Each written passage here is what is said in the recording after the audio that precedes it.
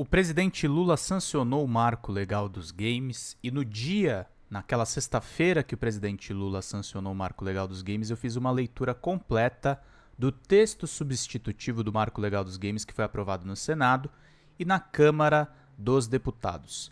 Depois teve a publicação no Diário Oficial da União e o presidente Lula impôs um veto de desoneração de imposto de renda. Mas o marco legal dos games é um tratado avançado para o mercado de desenvolvimento e reconhece os games como pesquisa, como cultura, e esse é o foco do corte que eu vou trazer aqui para vocês, porque é importante que vocês vejam a leitura que eu fiz do documento para entender exatamente do que ele se trata. Vamos ver juntos. Os públicos. Não esquecendo, Biblioteca de Jogos Brasileiros, gente. Isso aqui é fundamental. Vocês querem que os jogos brasileiros cheguem nas escolas? Esse artigo é muito importante para a gente poder expandir a nossa cena brasileira de games. Artigo 4 A utilização dos jogos eletrônicos para fins de comunicação e propaganda deverá observar o disposto na Lei 8069, de 13 de julho de 1990, Estatuto da Criança e do Adolescente. Seção número 5 do Fomento à Pesquisa, a Pesquisa ao Desenvolvimento, a Inovação e a Cultura.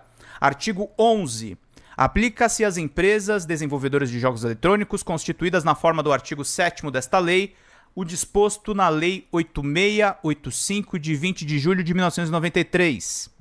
Parágrafo único para os fins dispostos, dispostos nesse caput desse artigo, o investimento em desenvolvimento de jogos eletrônicos é considerado investimento em pesquisa, desenvolvimento, inovação e cultura, o desenvolvimento de jogos eletrônicos é considerado um segmento cultural para os fins da Lei 8313, de 23 de dezembro de 1991. Seção 6 do apoio à formação de recursos humanos e espaços formativos. Artigo 13. O Estado apoiará a formação de recursos humanos para a indústria de jogos eletrônicos nos termos do ordenamento jurídico vigente. Artigo 1 subartigo desse artigo. O apoio poderá ser feito, entre outros, por meio de incentivo à criação de cursos de educação profissional e tecnológica e cursos superiores direcionados a jogos eletrônicos, criação ou apoio a oficinas profissionalizantes direcionadas a jogos eletrônicos, criação ou apoio a cursos de formação profissional, técnica e tecnológica de, de especialização voltados aos profissionais que desenvolvem jogos, jogos eletrônicos. Quarto, incentivo à pesquisa, ao desenvolvimento e ao aperfeiçoamento de jogos eletrônicos direcionados à educação, inclusive mediante a criação da plataforma de jogos eletrônicos educativos. Os cursos de capacitação, artigo 2 aqui, e formação poderão ser feitos de forma presencial ou à distância. Artigo 3 aos profissionais referidos no, no, no, no artigo 1 do artigo 7 não será exigida a qualificação especial ou licença do Estado para o exercício da profissão. Observados os direitos das crianças e dos adolescentes e a legislação trabalhista, os adolescentes são, serão incentivados às profissões referidas no artigo 7 em vistas à programação e ao desenvolvimento de jogos eletrônicos. O poder público poderá estabelecer incentivos para a criação de espaços formativos de recursos humanos especializados para o setor de jogos eletrônicos. Capítulo número 3 da proteção das crianças e dos adolescentes. É, artigo 15 a concepção, o design, a, a gestão e o funcionamento dos jogos eletrônicos de acesso por crianças e adolescentes deve ter como parâmetro o superior interesse da criança e do adolescente de acordo com a legislação vigente. Nos jogos eletrônicos a que se refere o caput, deverão ser adotadas medidas adequadas e proporcionais para mitigar os riscos aos direitos das crianças e adolescentes que possam advir da concepção ou do funcionamento desses jogos, bem como para fomentar a efetivação dos seus direitos relacionados ao ambiente digital. Para adequação para adequado cumprimento do disposto no caput, que no primeiro parágrafo, os desenvolvedores de jogos eletrônicos devem enviar esforços para criar canais de escuta e diálogo com as crianças e adolescentes. Terceiro parágrafo: os fornecedores de jogos eletrônicos devem garantir que aos seus serviços, sistemas e comunidades oficiais relacionados não fomentem ou gerem ambiente propício para. Isso aqui é dos direitos humanos e cidadania, tá, gente? Deixa eu avisar mais gente aqui que tá faltando mais gente para eu avisar. Tá doida a minha agenda. Muito louco. Deixa eu pegar aqui só. Babá, babá. Nada como encher o saco, meus amigos. É só assim que a gente consegue as coisas. Ninguém consegue sentado. Ai, ai, vamos pegar aqui só. É... Os fornecedores de jogos eletrônicos devem garantir que seus serviços, serviços, sistemas e comunidades oficiais relacionados não fomentem ou gerem ambiente propício para quaisquer formas de negligência, discriminação, exploração, violência, crueldade ou opressão contra crianças e adolescentes.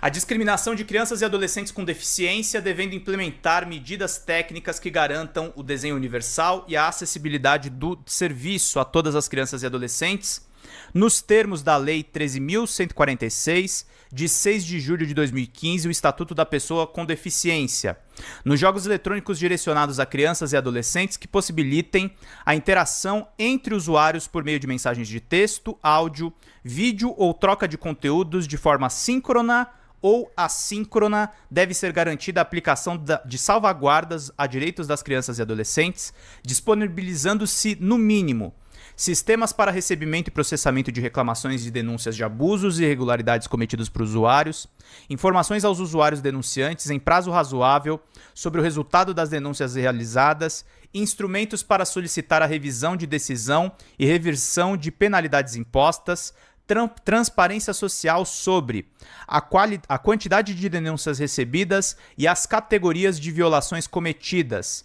o detalhamento dos métodos empregados para análise das denúncias, remoção de conteúdos e gerenciamento das comunidades. Isso aqui é, um, é uma, uma lição de. de gerenciamento de comunidades o detalhamento de métodos empregados para mitigação de riscos e aplicação de salvaguardas a direitos das crianças e adolescentes que utilizam a plataforma, as sanções a serem aplicadas aos usuários infratores, incluindo medidas utilizadas para impedir que os usuários criem contas adicionais em caso de banimento, as ações proativas adotadas para conscientização, educação e promoção dos direitos fundamentais na comunidade e nos mecanismos internos Vedação em seus termos de uso, de práticas, de trocas de conteúdos e de interações que violem os direitos das crianças e adolescentes, respeitada a legislação brasileira. Atualização e manutenção de ferramentas de supervisão e de moderação parental que respeitem o desenvolvimento progressivo das capacidades e, da, e autonomia da criança e do adolescente usuários, garantindo ainda seu direito à informação sobre a ativação e os parâmetros do mecanismo de supervisão, transparência e atualização e melhoria contínuas dos mecanismos de proteção contra o risco de contato com outros usuários, garantindo inclusive a possibilidade de desativação de mecanismos de interação. Informações referentes aos dispostos nos incisos 1, 2 e 3 em língua portuguesa e em linguagem simples e de fácil compreensão para crianças, adolescentes e seus responsáveis Artigo 17. As ferramentas de compra dentro dos jogos eletrônicos devem garantir, por padrão, a restrição da realização de compras e de transações comerciais por crianças, quando aplicável, garantindo o consentimento dos responsáveis. É... Esse artigo está sendo objeto de debates. Porque lá fora não tem lei que garante isso aí. Ó, oh, tem fã de Kim Kataguiri aí no chat. Seja bem-vindo, querido. Quem ajudou a gente na tramitação também. Mas quem assinou foi o Lula.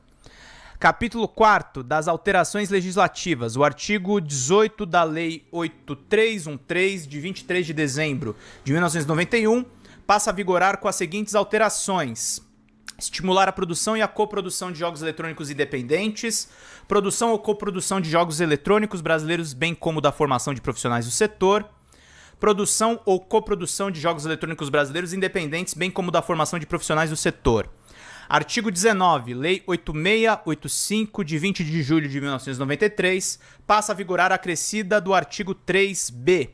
Os contribuintes do imposto de renda incidente nas remessas ao exterior, de remunerações oriundas da exploração de jogos eletrônicos ou de licenciamentos decorrentes dos jogos eletrônicos no país, poderão beneficiar-se do abatimento de 70% do imposto devido, desde que invistam no desenvolvimento de projetos de produção ou coprodução de jogos eletrônicos brasileiros independentes. O artigo 2 da Lei 9279 de, de 14 de maio de 1996 passa a vigorar com a seguinte redação: Concessão de registro para jogos eletrônicos. Capítulo 5 das disposições finais. Artigo 21. Esta lei entra em vigor na data da sua publicação.